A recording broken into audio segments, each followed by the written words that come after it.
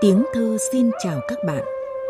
Nếu đong đếm gia tài của một đời sáng tác bằng những câu thơ sống trong lòng người đọc, thì nhà thơ Tố Hữu phải là một đại thụ của làng thơ với khối lượng thơ đồ sộ. Ông sáng tác nhiều và cũng có không ít những bài, những câu hay để nhớ xúc động. Tiếng thơ đêm nay dành phần lớn thời lượng để ôn lại những vần thơ và sức lan tỏa của thơ Tố Hữu nhân kỷ niệm 100 năm sinh của ông.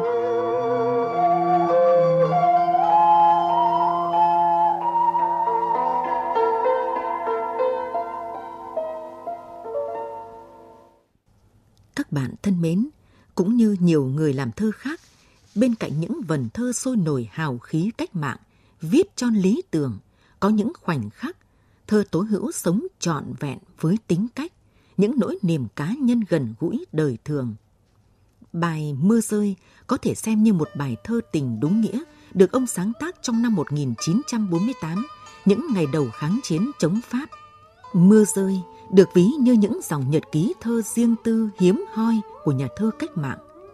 Mời các bạn cùng thưởng thức bài thơ này qua phần trình bày của nghệ sĩ ưu tú Hoàng Thanh.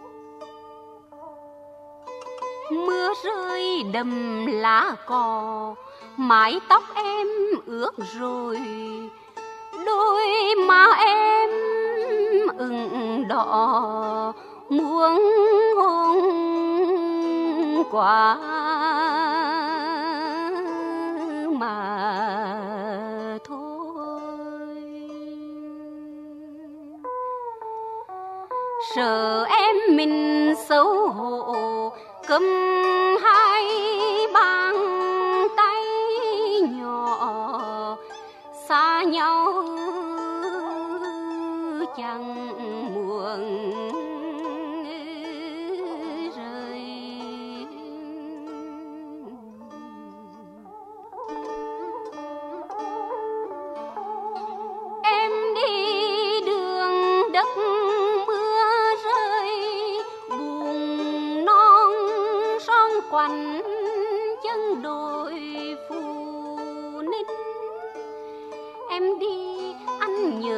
dáng hình. Cái khăn mọ quà, cái mình áo lâu chiều nay heo hút rừng sâu, mưa nguồn suối lũ biết đâu mà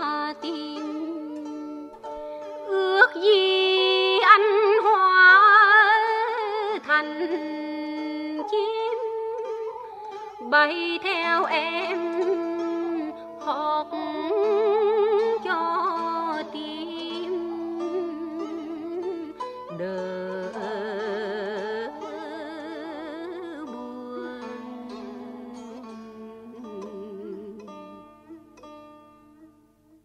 Những năm 60 của thế kỷ trước, miền Bắc nước ta đang bộn bề những nhiệm vụ mới, phấn khởi, tin yêu nhưng cũng đầy thách thức. Nhà thơ Tối Hữu đã viết bài Tiếng Chổi tre. Bài thơ theo thể tự do nhưng gợi hình, gợi thanh, nghe ra biết bao chiều mến, thương yêu, nhắn nhủ. những đêm hè khi ve ve đã ngủ tôi lắng nghe trên đường trần phú tiếng chổi tre sao xác hàng mé tiếng chổi tre đêm hè quét rác.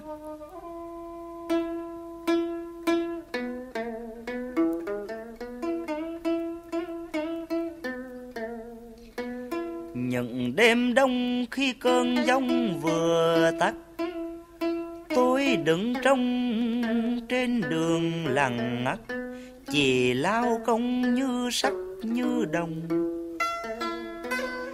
Chị lao công đêm đông quét rác.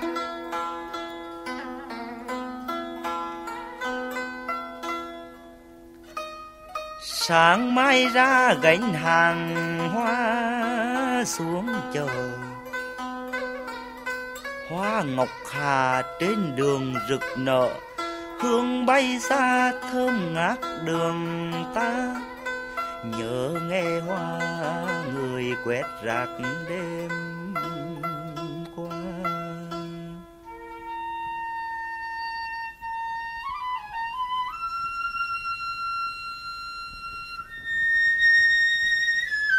Nhớ em nghe tiếng chổi tre chỉ quét những đêm hè, đêm đông, gió rét. Tiếng chổi tre, sớm tối đi về. Giữ sạch lệ đẹp lối em nghe. Bài thơ Tiếng chổi tre, các bạn vừa nghe qua giọng ngâm nghệ sĩ Minh Phúc với câu từ dung dị mà đầy ý nghĩa đã được đưa vào chương trình ngữ văn của nhà trường và được nhiều thế hệ học sinh thuộc lòng yêu thích. Cũng sáng tác những năm 60 của thế kỷ trước, bài Tiếng Du của nhà thơ Tố Hữu với thanh điệu ngân nga, ấp ủ những điều đầm ấm ngọt ngào đã trở thành khúc du con của các bà các mẹ. Chúng ta cùng nghe nghệ sĩ nhân dân Trần Thị Tuyết diễn ngâm bài thơ mà mỗi câu từ đều chan chứa yêu thương và thấm đẫm nhân sinh. con ong làm mật yêu hoa con cá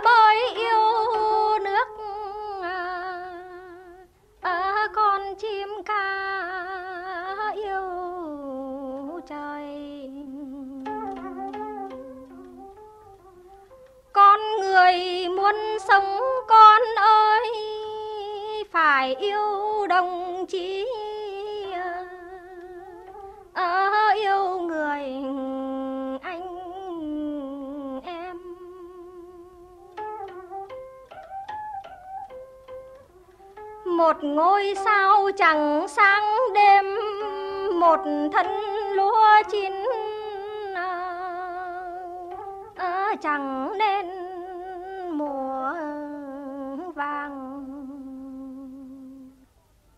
Một người đâu phải nhân gian sống chẳng một đốm lửa tàn mà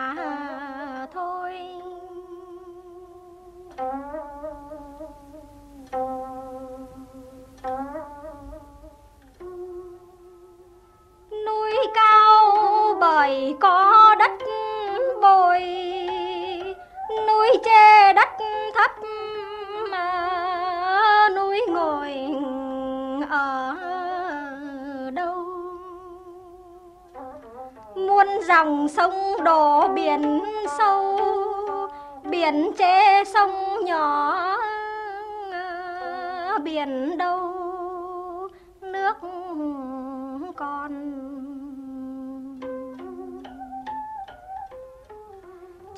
Già yêu lấy măng non, chắc chiêu như mẹ. Ờ, yêu con tháng ngày.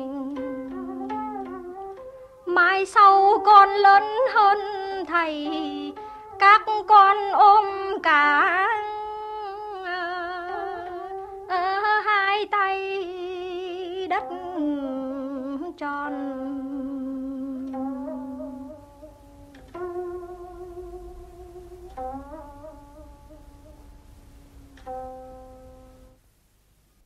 Các nghệ sĩ Hoàng Thanh, Minh Phúc, Trần Thị Tuyết vừa gửi tới các bạn trùm thơ gửi trao những tâm sự nhẹ nhàng mà chiều mến của nhà thơ Tố Hữu. Các bạn thân mến, thơ hay không có nghĩa là luôn đeo đẳng bám giết lấy ta. Chính những vần thơ tưởng đã lãng quên trong một thời khắc nào đó bỗng vụt hiện lại mới thực là đã sống lâu và sâu trong tâm trí. Cách đây chưa lâu, nhà thơ Lê Thiếu Nhơn đã đặt ra câu hỏi vì sao có nhiều năm làm lãnh đạo cấp cao, Tố Hữu vẫn đều đặn làm thơ. Rồi chính nhà thơ lại tự trả lời. Rất dễ hiểu vì ông là một thi sĩ đích thực. Tố Hữu luôn tin vào lý tưởng của bản thân, ông luôn tin vào đường đi của dân tộc, ông luôn tin vào ngày mai của lương tri. Mời các bạn cùng nghe đôi điều cảm nhận của Lê Thiếu Nhơn với góc nhìn của một người từ lâu cũng đem lòng mến chuộng thơ tố hữu. Thật khó thống kê cuộc đời 82 năm trên dương gian. Nhà thơ Tố Hữu đã viết tất thảy bao nhiêu bài thơ. Tôi chưa bao giờ có ý định ngụp lặn trong di sản đồ sộ của ông mà tôi luôn thầm cảm ơn ông vì những vần thơ dung dị vẫn đi về giữa tâm trí mình. Bởi lẽ, thỉnh thoảng lúc vui lúc buồn thì tôi lại tự nâng đỡ cõi lòng mình bằng những ý nọ ý kia mà ông đã viết từ vài chục năm trước khi tôi được sinh ra. Tố hữu lấp lánh phẩm chất thi sĩ ở những câu thơ mềm mại và gần gũi. Bài thơ Táo Dũng chỉ vỏn vẹn bốn câu, Tố Hữu viết tháng 1 năm 1967, phản ánh chân dung một con người trầm tư và nhân hậu. Đạn bom giặc Mỹ phá ngày đêm, trường học rời xa, phố vắng thêm. Đường xấu lâu rồi im tiếng guốc, xuân về táo dụng nhớ đàn em. Trong bài thơ Tâm tư trong tù, được Tố Hữu viết tại xà lim số 1 Lao Thừa Thiên ngày 29 tháng 4 năm 1939 cũng từng xuất hiện tiếng guốc. Nghe chim reo trong gió mạnh lên chiều, nghe vội vã tiếng rơi chiều đập cánh, nghe lạc ngựa rùng chân bên giếng lạnh, dưới đường xa nghe tiếng guốc đi về. Tiếng guốc trong thơ tố hữu vừa chậm rãi vừa xa vắng. Đó là cách nghe của thi sĩ, nghe được tiếng guốc trong gian khó thủy chung, nghe được tiếng guốc trong thinh lặng kiên cường và nghe được cả tiếng guốc trong hồi tưởng lạc quan. Có những tác giả thơ và đời khác biệt. Với trường hợp tố hữu, thơ và đời lúc nào cũng song hành và đồng nhất. Cái khí phách ngạo nghễ Ta sinh ra là để làm người, không sợ chết bởi vì ta dám sống. Đã giúp tôi hữu cảm thông được những số phận xung quanh. Kiếp người cơm vãi cơm rơi, biết đâu nẻo đất phương trời mà đi. Tố hữu dùng thơ để xác lập sự sinh tồn của con người. Nếu là con chim chiếc lá, thì con chim phải bay, chiếc lá phải xanh lẽ nào vay mà không có trả, sống là cho, đâu chỉ nhận riêng mình. Tô Hữu làm thơ để kêu gọi sự hành động của con người. Bâng khuâng đứng trước đôi dòng nước, chọn một dòng hay để nước trôi. Và Tố Hữu cũng dùng thơ để ca ngợi sự mạnh mẽ của con người. Yêu biết mấy những con người đi tới, hai cánh tay như hai cánh bay lên. Quan trọng hơn, Tố Hữu còn dùng thơ để gắn kết con người với con người. Ước gì mang ít hoa xuân sớm, gửi bạn gần xa bớt nỗi hàn. Quá trình trôi chảy của năm tháng có thể làm thay đổi nhiều thứ. Giá trị hôm qua có thể lung lay hôm nay, thần tượng hôm qua có thể trông tranh hôm nay. Thế nhưng những câu thơ, thơ đích thực thì vẫn khiến độc giả rung động. Tôi cũng như những người lớn lên và thụ hưởng cuộc sống hòa bình vẫn được ấp yêu vần điệu mà ông sáng tác trong khói lửa. Tập thơ Việt Bắc được Tô Hữu viết năm 1954 không chỉ phô diễn không khí sôi sục của một thời đại, mà còn đọng lại nhiều câu thơ hay cho hậu sinh ngâm ngợi. Không thể không bồi hồi, nhớ gì như nhớ người yêu, trăng lên đầu núi, nắng chiều lưng nương. Nhớ từng bản khói cùng xương, sớm khuya bếp lửa người thương đi về. Không thể không sao xuyến áo chàm đưa buổi phân ly, cầm tay nhau biết nói gì hôm nay. Không thể không nắc nỏm. ve kêu rừng phách đổ vàng, nhớ cô em gái hái măng một mình. Không thể không nôn nao. Nước trôi lòng suối chẳng trôi, mây đi mây vẫn nhớ hồi về non. Không chỉ học thơ tố hữu trong sách giáo khoa, tôi còn đọc thơ ông ở nhiều tuyển tập khác nhau. Thật thú vị khi nhiều câu thơ của Tố Hữu tôi không nhớ rõ nằm ở bài thơ nào nhưng vẫn bị ý tứ và vần điệu đeo bám. Lý do đó là những câu thơ quyến rũ, có sức tả và có sức gợi về cảnh sắc Việt Nam, về tâm tư Việt Nam, về khát vọng Việt Nam. Đêm nay gió biển đông về, mùa thu chừng đã tái tê đất trời. Non quanh chừng đã lạnh rồi, rừng sâu run rẩy xa vời tiếng rung. Hoặc tuổi thơ úa trong mưa rầm xa giết, cát chuông dài nắng bỏng lưng châu. Thành tựu của một nhà thơ không phải là tác phẩm nằm trên bàn nghiên cứu của các học giả, mà là những câu thơ vào những dịp tình cờ lại thẳng thốt trỗi lên trong cảm xúc người đọc để an ủi sự quạnh hiu, để động viên sự bền bỉ, để chở che sự lầm lạc, để truyền lửa sự đam mê. Tôi tin như vậy, mỗi khi bất chợt nhớ đến những câu thơ thanh thoát của Tố Hữu, như Đêm khuya một tiếng bầu, tiếng trúc, một câu hò cũng đọng trong tim, hoặc dì sâu bằng những những chưa thương nhớ, hưu quạnh bên trong một tiếng hò hoặc đường nở ngực những hàng dương liễu nhỏ đã lên xanh như tóc tuổi 15. Và thi sĩ san sẻ cái riêng cho ấm áp cái chung. Hỡi người xưa của ta nay, khúc vui xin lại so dây cùng người.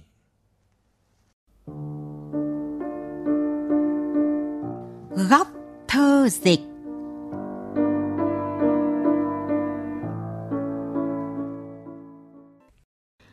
Các bạn thân mến, có người nói rằng mùa thu khiến nhiều người chưa từng sáng tác bỗng muốn làm thơ. Chẳng thế mà Đông Tây tự cổ trí kim không hiếm những áng thơ hay viết về mùa thu. Góc thơ dịch của tiếng thơ đêm nay giới thiệu một chùm thơ viết về mùa thu của các tác giả phương Tây. Bài Mùa thu của thi sĩ người Pháp Le Martin do Lê Ngọc Anh chuyển ngữ từ đầu tới cuối, thấm đẫm chất lãng mạn đặc trưng. Mời các bạn thưởng thức qua giọng đọc nghệ sĩ Thanh Tâm. Xin chào vòng hoa rừng còn chút xanh, trên thảm cỏ những lá vàng tàn mát. Trong mắt tôi, thiên nhiên hài hòa với nỗi đau tang tóc. Chào những ngày sau chót, đẹp tươi. Tôi mộng mơ trên đường mòn đơn côi, muốn nhìn lại cái nhìn lần cuối. Vầng mặt trời xanh, tỏa ánh trời yếu đuối. Vừa xuyên rừng u tôi xuống bàn chân. Vâng, tôi thấy thiên nhiên quả tuyệt trần Qua làn khói trong ngày thu tàn tà. Nụ cười cuối để biệt ly với bạn Trên đôi môi sắp khép lại mãi rồi.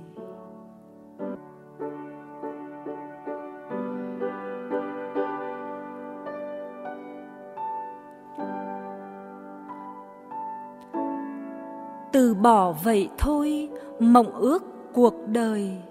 Hy vọng tắt, ngày dài than khóc. Tôi quay lại, mắt ngắm nhìn thèm khát.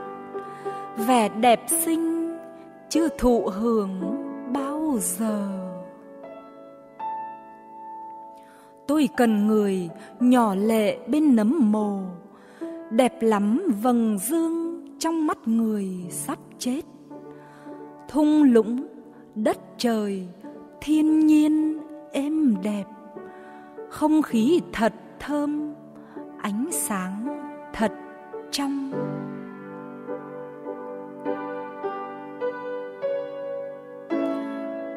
Giờ tôi muốn uống cạn tới cùng, bình hòa lẫn ngọt ngào và cay đắng. Tôi uống đời và ở nơi đáy cốc có thể còn chăng một giọt mật ngọt ngào? Có thể còn tương lai của tôi sao? Từ thất vọng có trở về hạnh phúc. Tôi không biết một người có thể trong đám người đông đúc đã trả lời và thấu hiểu lòng tôi.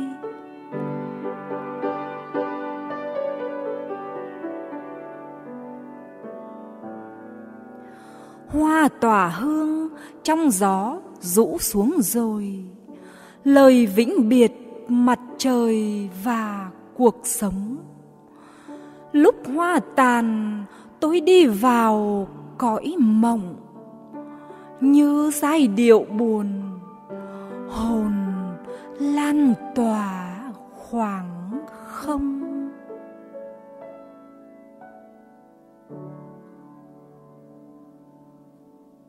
Từ hình ảnh lá mùa thu, nhà thơ người Tây Ban Nha Rafael Alberti liên tưởng tới cuộc đời lưu vong với bao nỗi niềm khôn tả. Giọng đọc nghệ sĩ Phạm Thành gửi tới các bạn bài thơ Lại mùa thu của Rafael Alberti với những câu chất chứa xót xa. Kìa, anh hãy nhìn xem trong thành phố, mùa thu này thu hơn cả mọi thu. Có bao nhiêu chiến sĩ đã lìa đời ngã xuống đó, lá rơi vàng phủ kín. Khi lá rụng bay theo chiều gió cuốn, vài lá khô vẫn ở lại trên môi. Trong những bàn tay đã nắm chặt rồi, trên áo khoác vết thương nằm há hốc. Vài chiếc lá vẫn còn nguyên trên ngực, những huân chương trao tặng của mùa thu. Mà gió kia trên đường vội đi qua, đã kính nề không hề động tới. Hỡi rừng cây, hỡi mùa thu lặng lẽ, có phải chăng bản thân ta là kẻ đáng tách mình xa tổ quốc thân yêu, đáng sống xa xôi lưu lạc ở bên trời?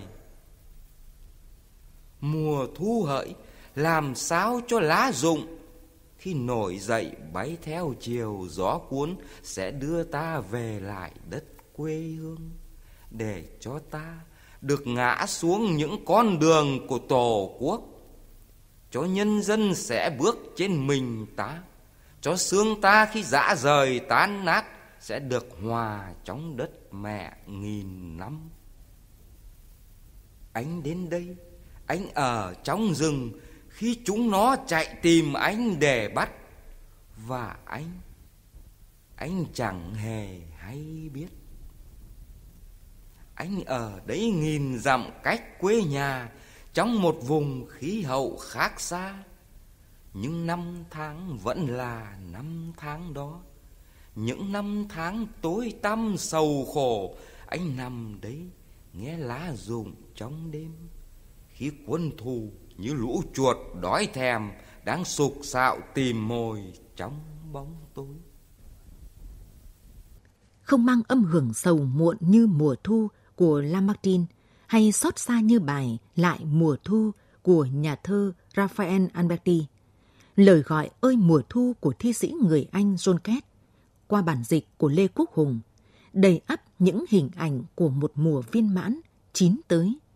Mùa sương muối, mùa thành quả chín bùi, bạn tâm giao của mặt trời chín đỏ, nguyện cầu cho cây chĩu quả, những trái nho lượn quanh mái dạ, táo ngọt chĩu cành, túp lều rêu phong, quả cây chín mọng tận đáy lòng.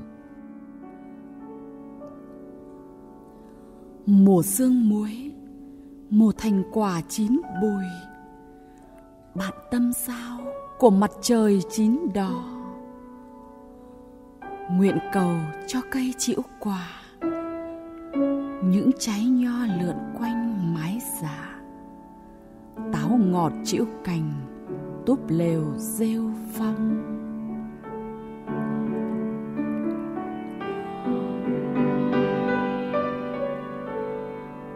quả cây chín mọng tận đáy lòng, trái bế tròn mũm mĩm, vỏ nâu mịn màng. Hạt nhân ngọt lịm, này thêm mầm.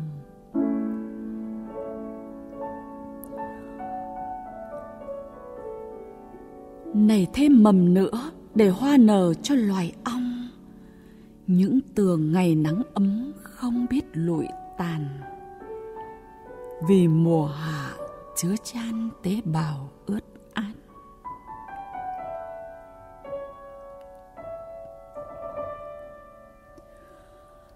Ai chẳng thấy em trong kho đại mạch, cũng đôi khi kẻ ngó tìm ngoài ngõ thấy em ngồi lơ đãng bên thềm vựa lúa. Tóc nhẹ bay trong luồng gió quạt say.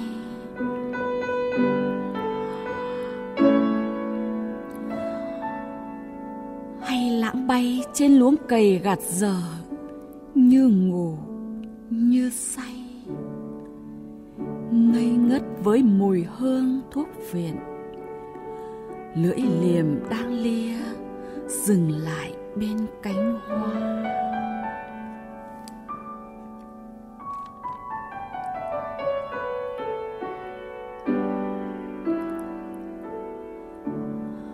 Cũng có khi em như người lượm lúa gối đầu chịu hoạt qua bờ mương. Cũng có khi, hàng giờ bên máy ép, em ngắm nhìn sữa táo chảy liêu xiêu.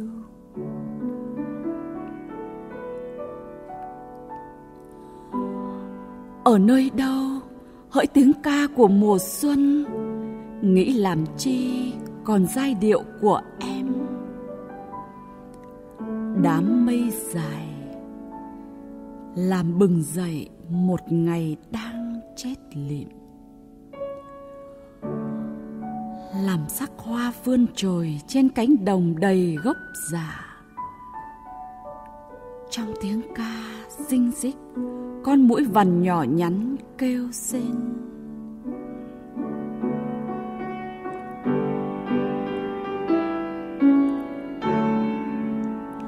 gần cây liễu bên sông vươn lên, chìm xuống. Theo gió nhẹ khi bừng, khi lắng.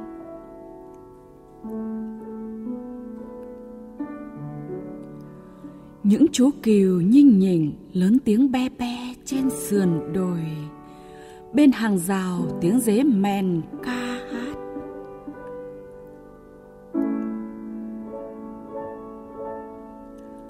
Rồi nhẹ nhẹ, thanh thanh, vẳng tiếng ca của loài chim ngực đỏ. Trên bầu trời, đàn chim nhạt líu lo.